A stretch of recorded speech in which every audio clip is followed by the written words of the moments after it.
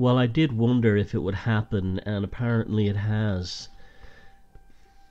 If you read my book Sorcery, you will have noticed that I made the connection. I'm not the first one to do this, of course, but there was definitely a a reinterest in this idea that Crowley had created the Loch Ness monster. I'll just read the section from my book Sorcery, the Invocation, the Strangeness, dealing with this it's, the segment is called Crowley's Nessie and Lovecraft's Cthulhu. Understandably, their excitement can be somewhat forgiven when one considers that there is evidence to suggest that the Loch Ness Monster itself was created as a result of a magical ritual which Aleister Crowley had performed in 1889. Crowley began, but left unfinished, his working of the rite of Abramelin the Mage, from his home in Boleskine House on the shores of Loch Ness. A water elemental arose, accidentally created by Crowley, and which now many consider to be the fabled Loch Ness Monster. The many hyped appearances of the Loch Ness Monster started to occur after Crowley had left the location, due to the wickedest man in the world finding the Abramelin the Mage ritual far too stressful and intense even for the great B666 himself.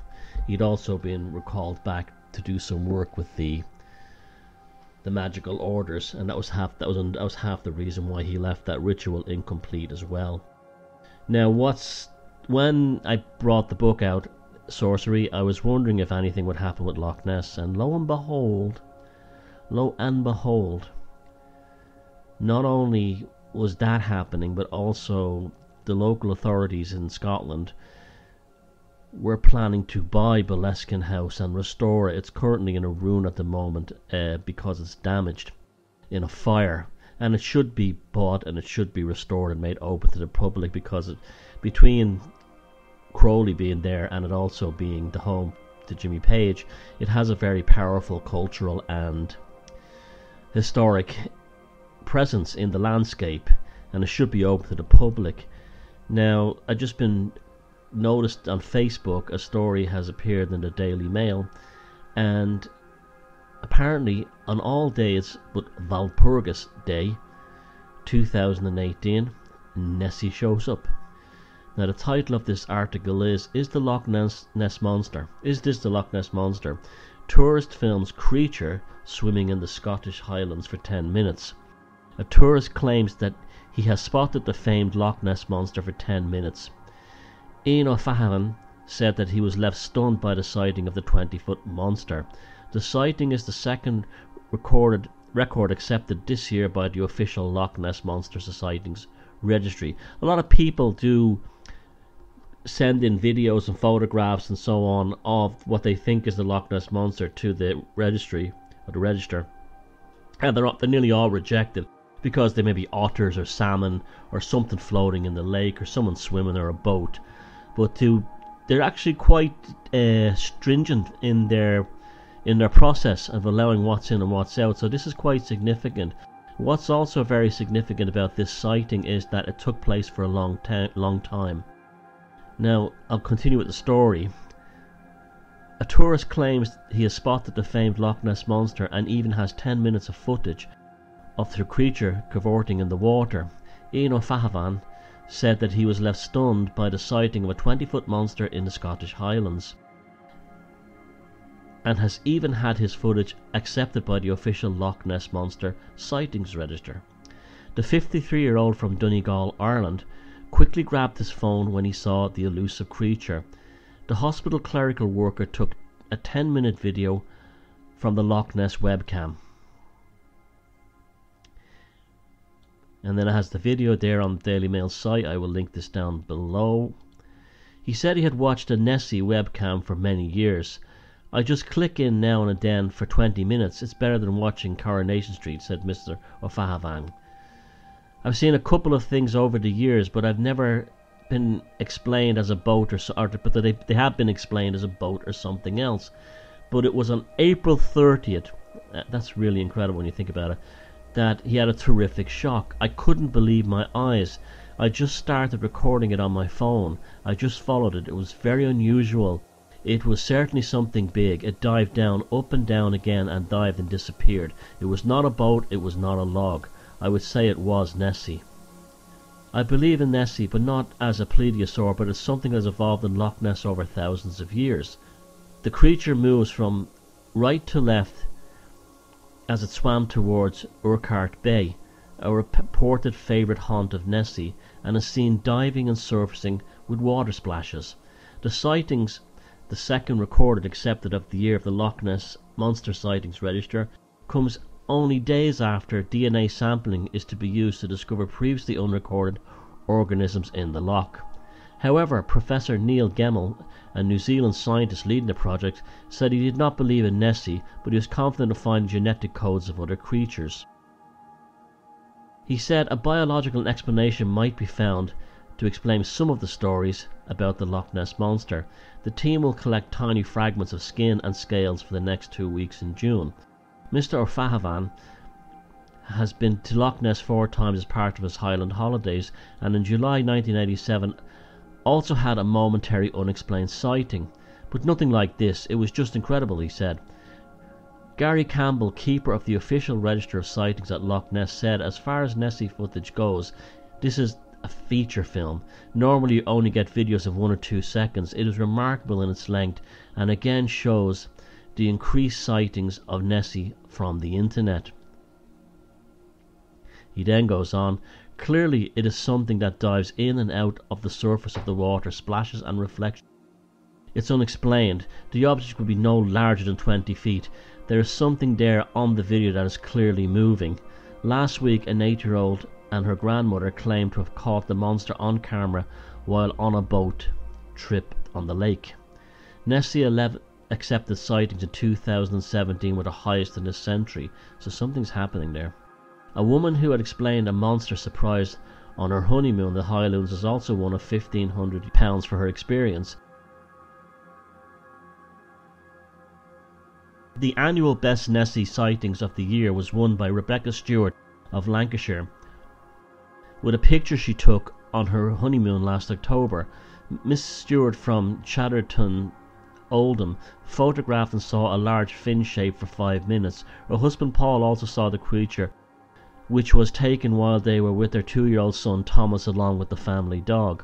Mrs. Stewart's sighting was accepted by an official Loch Ness Monster sightings register and was entered into the competition with a prize of £1,500 given by the bookmakers William Hill. And then they have a segment on the the uh, the obligatory 1500 year old mystery of Nessie's, and they talk about the Irish missionary Saint Columba who first encountered the beast in 565 AD. Well, that's all nonsense, and I'll tell you why. In my book Sorcery the Invocation of Strangeness, that did happen. That sighting was not recorded in Loch Ness itself. It was a, it was a serpent in the River Ness, many, many miles away, near the, near the city of Inverness, nowhere near the loch. And also, every single lake had a monster in it, according to the early Christians when they first came to these islands, and they used to perform these exorcisms of monsters, these these these shows at these lakes. Even the one up the road from me, they did it in order to sort of impress the local pagans to show that they were as they as, as much magic as the Druids. So the Saint Columba alleged sighting of exorcism of Loch Ness back in 500s is bogus and can't be counted because it distinctly says it took place in the River Ness, which was nowhere near Loch Ness. Now, I believe in Nessie, and I believe it, it that is directly a result of Crowley not completing the Abramelin the Mage ritual. Uh, an elemental was trapped, or an entity was trapped, and of course they'll always find their way to water because water is heavily con- connected to consciousness and these, this is why these entities always seem to end up in the water. It's trapped there probably for all eternity, so I kind of feel a little sorry for it. And it's definitely connected to consciousness in terms of manifestations regarding interest in it. So, for instance, when there's an interest in anything to do with the Nessie experience, they, they go up, the numbers of sightings increase.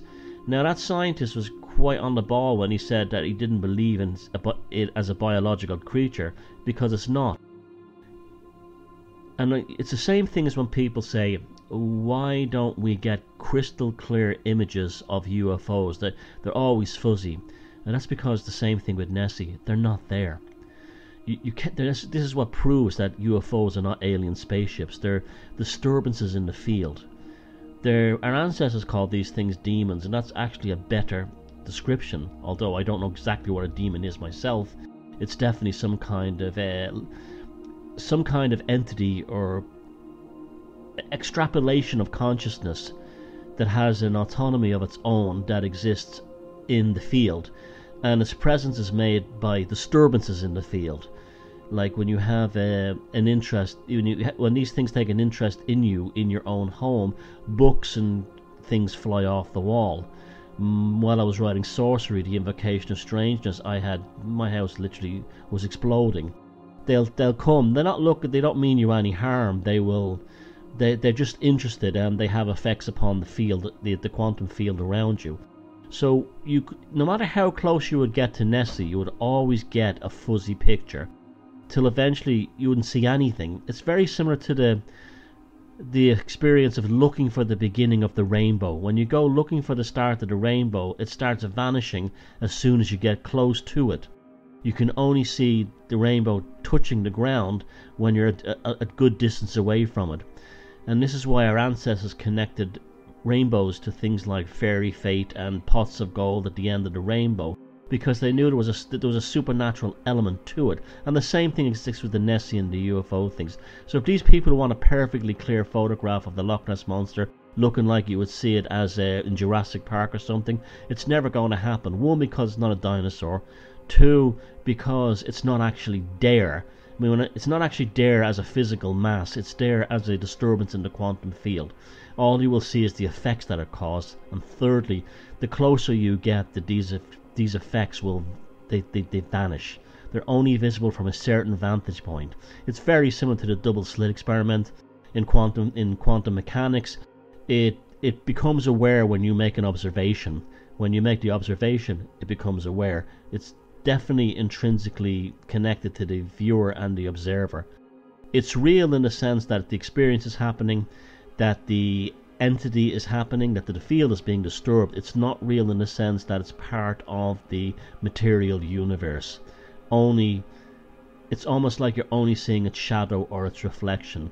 So I was wondering if there would be a Nessie manifestation after my book came out, because that's that's quoted in the first chapter. And it's usually one of the first things people read. There's also been the stories of the the, the restoration of Boleskine House, and now this. The fact that it even appeared on Walpurgis is important too, because if you've heard me talk and write so many times about these are the parts of the year where the the field is softer, where the field is is it can be accessed. This is why our ancestors said that the the entities or the ghosts, the demons, the fairies were able to move, or the dead would come. It's because of the Earth's relationship to the Sun, the distance from the Sun, and the effects upon the Earth's magnetic field. It creates a shift over effect. And it literally it's, it happens on a microcosm on a smaller scale at 3 a.m. in the morning because as the Earth as the Sun which at the furthest point the Earth is from the Sun in terms of darkness at the night that the actual magnetic field of the Earth is is very different than what it is in the Sun is overhead. At that point, it starts coming back. It's slipped away after midnight. Doesn't matter where you are in the world, what time zone. You're still, still, still the same. Still, you're still on the other side of the world. Uh, you, approach, you approach the witching hour of 3 a.m. It, it flips over, and the actual strength regaining of the magnetic field is what causes us to people to wake up at 3 a.m. in the morning, or have their night attacks, or their the uh, night hag attacks, or sleep paralysis, and other strange experiences. They're just waking for no reason at 3 a.m the brain has detected the magnetic field. Well, on a greater scale, this is what happens at the, the solstice, particularly the the the uh, the autumnal, which is which would have like Halloween, Samhain, and the the, the spring, which you would have as uh, Beltane and May 1st and the day before Walpurgis. And the, the veil opens, the door opens, and uh, here we are. We have Nessie. So anyone who ever tells you that these things are not real, they're usually saying it because they don't fully understand the experience. They're just uh, applying a kind of superficial narrative to it. But let me tell you for a fact, uh, there's proof right there. I'm not saying I conjured the Loch Ness Monster up on April 30th. I'm not saying that at all. I'm saying that maybe the whole experience conjures everything together. Thank you.